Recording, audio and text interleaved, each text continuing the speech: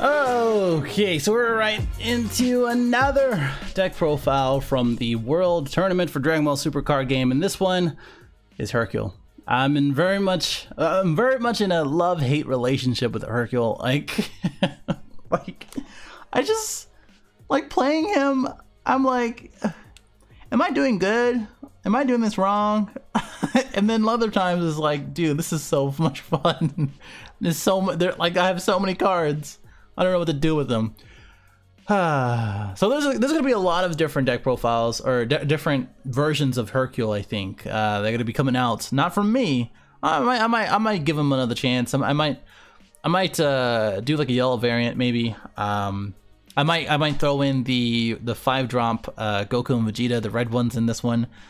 I just don't know yet. I just I really don't know. But if anything, um, uh, for this deck and for Hercule in general, he is a crazy, crazy man. Like if you didn't know, you you do not know draw power before you know Hercule.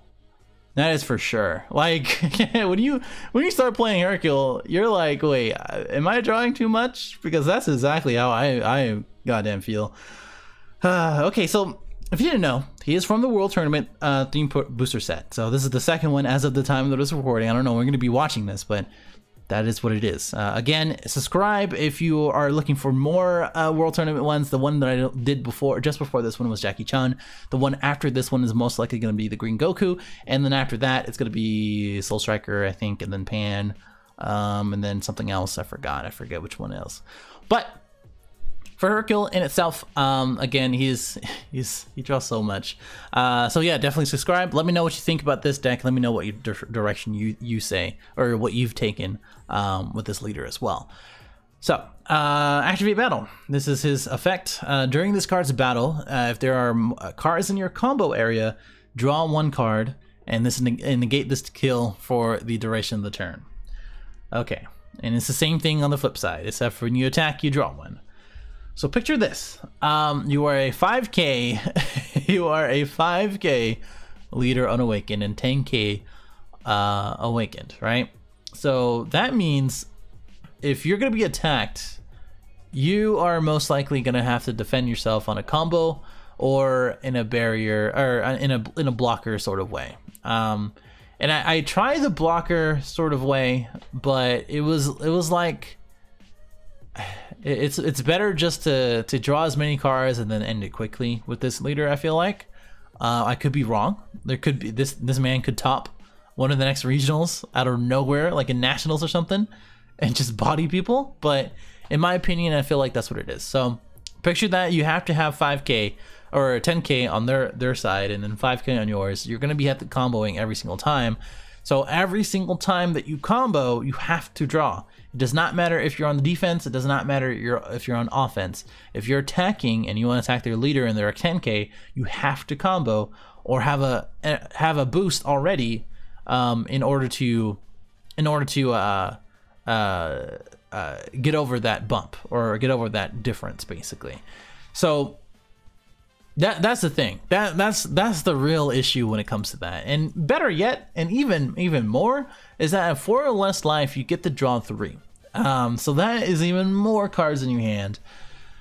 And it becomes a little problematic uh, later in the game. Like turn four, five, maybe you're probably at ten cards at your deck because you're defending so much. Maybe I'm doing it wrong. Like I said, blocker barriers um, and stuff like that might be it. You could go mono blue with this man and have Bergamo, but you don't have Vegito, so Bergamo is easily removed. So uh, just think about that. so every single time you have to do it defense and offensive. So think about that when I'm talking through these. Um, so let's get the, the black cards real quick. Uh, let's go to blue. So the blue red uh, is probably best for this man, uh, in my opinion, only because he is again a, a draw leader and he needs that defense. He needs he needs a little bit of offense, as uh, a lot of offense in order to end the game quickly, and then defense on his end, so that way you're not drawing through your cards and cycling too much. Um, and looking at this, like, okay, so Whis is there because she, she, she, he is one of the best against the game because you get to use him for free. Uh, having one blue energy up, which most of these cards, if not all of them, except for Zeno, only cost one blue. Um, so that's even better. And uh, basically you negate the attack and switch one to active mode. You can switch one so something else like I, I don't know. I don't, I don't know why would you do, want to do that with this deck but if you if you want to switch out um, like Victorious Fist Go, Strength Gohan which is probably the one one of the only flex options outside of Jaco which I think in this deck you kind of need um, to, to take out and put in like a, a Vados Negate would probably be okay. Um, but at the same time not really. Like a, a Renegade probably be okay um, trying to think what else I'm trying to think what else would be good. But anyway, that's that's what I think. Uh, and then Senzu Bean okay, so that's the counter. You need the counter in your hand, especially uh, later in the game. You probably you probably don't need them early in the game. You're just gonna keep drawing and defending yourself. It's not that big of a deal. Um, and then Senzu, Senzu Bean is there for extending, extending plays and for defense. So automatically on defense, he is a 10k leader instead on his unawakened side and 15k on his awakened side. And then you get to switch to to active mode, which I, I don't know. Like I said, if, if you wanna if you wanna do that, you can do that. Uh, Mafuba, if you run blue, you run Mafuba. Uh, Mafuba, Mafuba, Mafuba. I don't know how Nam says, says it, but he says it funny. Um, Mafuba's one of the best cards as far as uh, for for me, and one of the best blue cards. It disrupts so many plays, and I talk about it in every single deck profile I have Mafuba in. Um, and uh, you can get the attack. You place it on the attacking battle card, and and, in the opponent's next turn. So basically, full full turn, they don't have the the card that you just Mafubaed uh, you have a full turn without your your um your your turn being disrupt, disrupted or interrupted by one of their cards, uh, etc. So good card, really good card. Ultimate Judgment Jaco. I feel like for this deck again, it's kind of it's kind of needed. Oh, excuse me. Only because again, when you're comboing, you're not only um, defending yourself on most most of the time, you're gonna be defending yourself with this card and drawing one and then uh, you get to return one of their combo cards if need be. So uh, it's really good in that respect, um, and just to draw and for blue energy. Like I was, I was trying to find the perfect blue energy um, to to put a three of in, and I think this is this is one of the ones. Um, it's really good on defense, and, and it saves saves you a lot of hassle when it comes to a lot of different final plays uh, on defense as well. Xeno the Playing God. Uh, very, very much needed. So, uh, shout out to Joel. The concept of this deck is to draw a lot, attack a lot. Zeno pre-awakening. Uh, Xeno, so reset the whole board, draw five, flip over, draw three, and then have eight cards, then nine cards after attacking, and then um, be on defense with the with the whole book in your hand, basically, and uh, disrupting whatever they have going on. So that's the that's the whole concept for that. Um, so having that, having chain attack uh, at four, and then intensifying power trunks at four, and then this guy at three, I think suits it better. I mean, if you want to put it at four, enjoy having dead cards. You don't cycle like you do with uh, Hirudegarn. You don't cycle like we, what you do with uh, Trunks. This man, if you, I mean, yeah, you get the combo if it's in the combo area, but honestly, I, I would just use it as uh, blue energy if you already have one in your hand.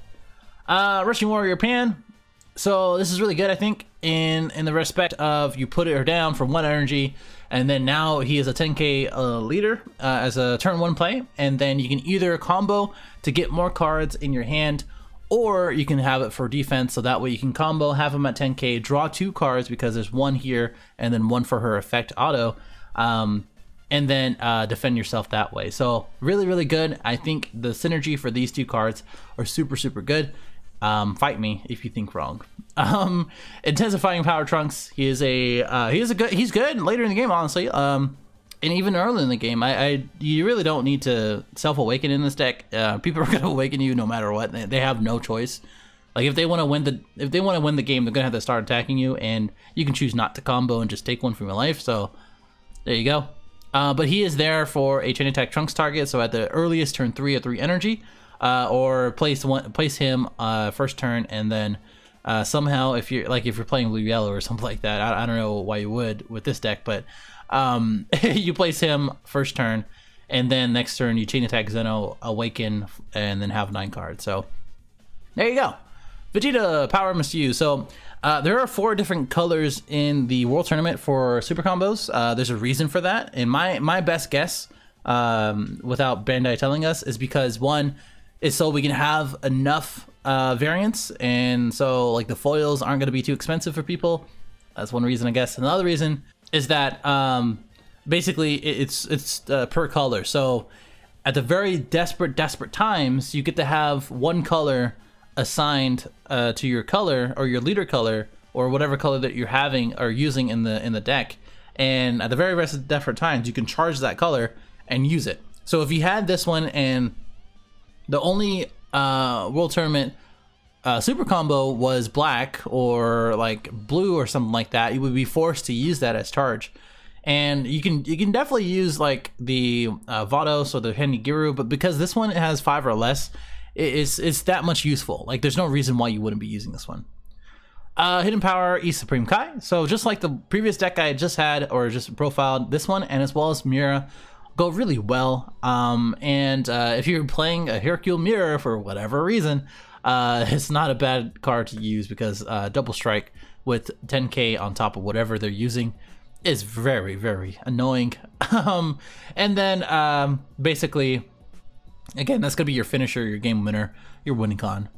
Uh, Bodyguard Legic is going to be pretty damn like useful. Um, maybe probably because like for her, for Double Shot, and for Gohan, um, they're not going to be on there too often. You're going to be drawing in other ways, but as soon as you can, I would play the Bodyguard Legic uh, or just charge him. And uh, again, he is a uh, when they have uh, cards in their battle area and you have none, you get to play them play this without paying your cost.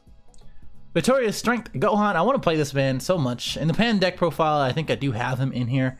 So, you know, if you a card is red, you get to this card gets to attack battle cards in active mode, so more removal in that way. And then during your turn, when this uh, card KOs a battle card, uh, inflict one damage to your opponent. I can see why they said during your turn, because uh, Revenge and King of Surprise, King Vegeta Surprise Attack. I mean, it would be pretty busted if that was the case.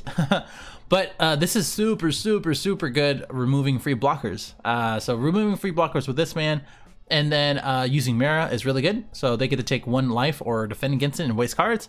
Or uh, he is a chain attack target as well. So there you go. Double shot Vegeta. So this is really good uh, because he automatically gets 15k or 20k on Awakened. Uh, and get, you get to play a body on the board for free, or for one energy that is, and then you get to draw for that as well. So overall, a really good staple when it comes to this Hercule deck, I feel like. In really any Hercule deck, in my opinion.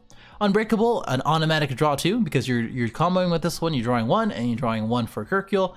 And again, a 20k, 15k, respectively or 15k, 20k respectively. And Chain Attack Trunks, I already explained it. So that that is really it for the deck profile. Um, I would love to show some gameplay for this one as well. I said the same thing as last one. If I don't have anything, anything, it's going to be a short video or relatively short compared to my other videos. Um, if you want to see gameplay, let me know. And if you have a version of this, let me know. Let me know what you change, what, what you like, what you don't like. Um, I'm, I'm always interested in seeing what people come up with and uh, I can't wait to to release out that Goku one as well and see what people come up with. But this is it. If I like I said, if I have gameplay, I'll add it right after this.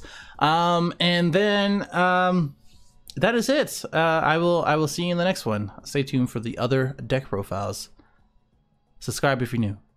Like, dislike, comment. Later.